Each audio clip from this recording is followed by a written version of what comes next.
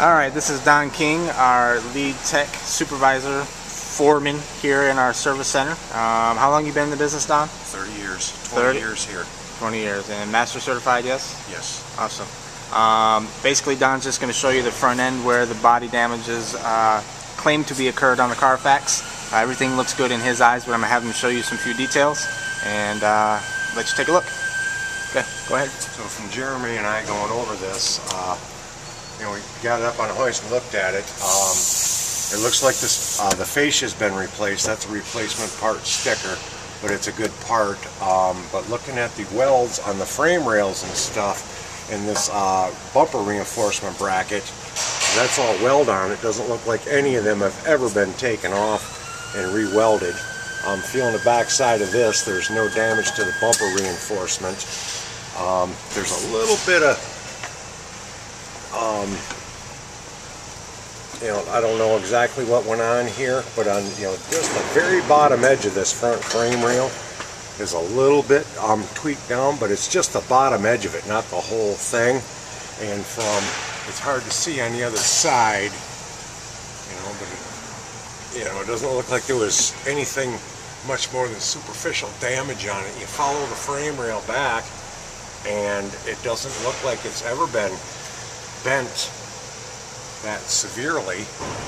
Um, you know, everything seems to be pretty tight on it. When we did the uh, certification on the vehicle, um, we put tires on it, a battery, um, repaired the heated seats, um, I'm trying to recall exactly what we did. Them are the main things that come to mind. Other than that, the vehicle was uh, pretty straight. Um, as you can see underneath here, it's, it's dry. There's no leaks under it.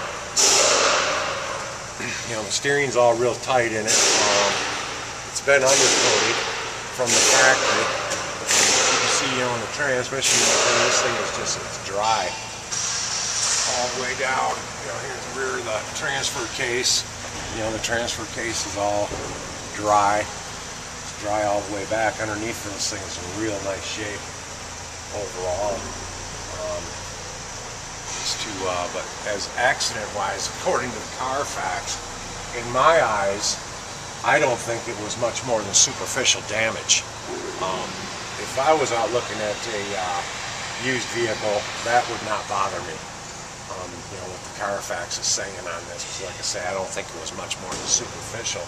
It was just reported by know, some insurance company or something. Here's another indicator that says it wasn't bent that hard. I didn't point out. Um, there's the front body mounts. You, it doesn't even look like they've even ever been taken apart. So, from what I'm gathering, I don't think it was much more than a, you know, a front end bump that, you know, where they had to put a fascia on it more or less. That's saying it was reported by the insurance company. I can let it down and, you know, we can look at it some from the top. So, based on your professional opinion, you think this car hasn't been in a major wreck? I would think no more than a superficial, you know, fender bender more than less, more or less. I wouldn't say it was a horrific accident.